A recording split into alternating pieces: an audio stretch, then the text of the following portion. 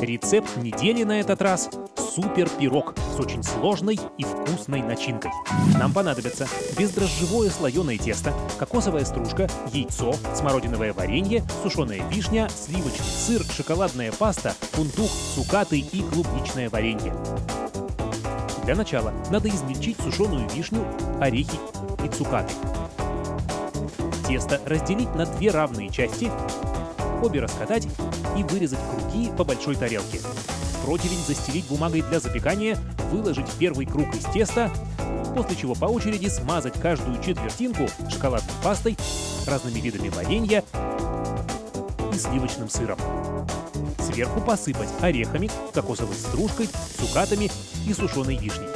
Накрыть вторым слоем теста, наметить небольшой круг в центре с помощью стакана и запечатать края вилкой. Разрезать тесто на множество тонких лепестков и завернуть их по спирали.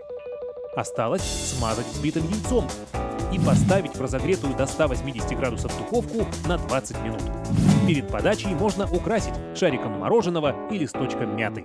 Это не блюдо, а просто праздник какой-то. Приятного аппетита желаем вам мы и кондитер Екатерина Чопик.